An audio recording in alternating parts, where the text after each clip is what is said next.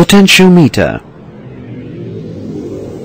A potentiometer, as the name suggests, is an instrument used to measure an unknown potential difference.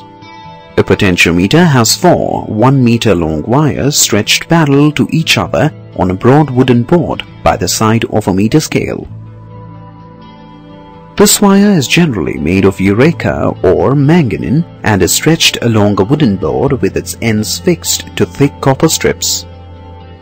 The end A reads 0 centimeter and the length of the wire between A and B is 400 centimeters.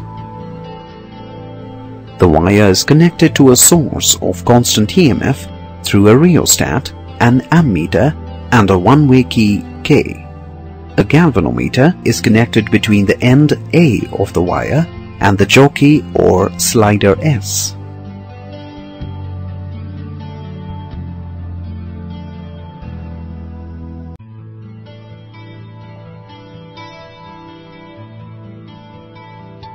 Principle When a current flows through a wire of uniform thickness and same composition, potential difference between its two points is directly proportional to the length of the wire between the two points.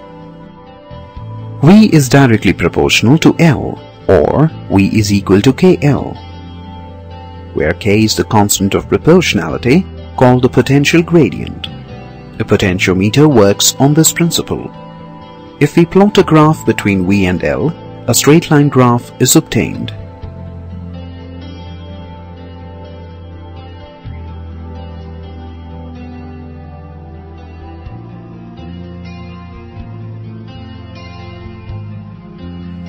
Comparison of EMF of two cells A potentiometer can be used to compare the EMFs of two cells.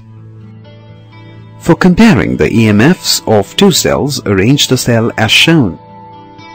The EMF of the driving battery is constant and more than that of given experimental cells E1 and E2.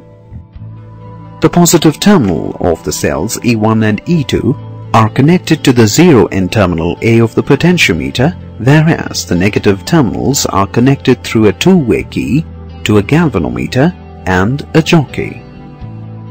The measurement of EMFs is carried out in two steps.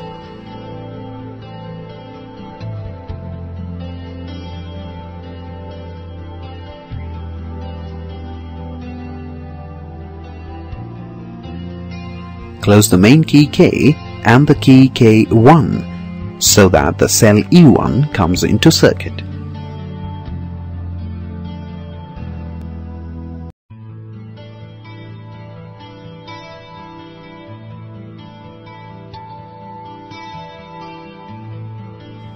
The jockey is moved gently along the potentiometer wire AB till a point is obtained where the galvanometer shows no deflection.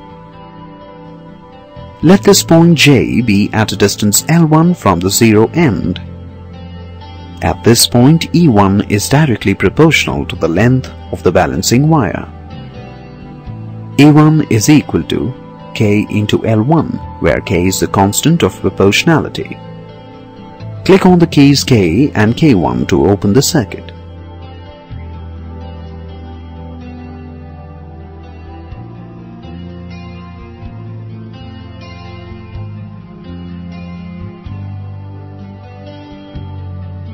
Now close the main key K and the key K2 so that the cell E2 comes into circuit.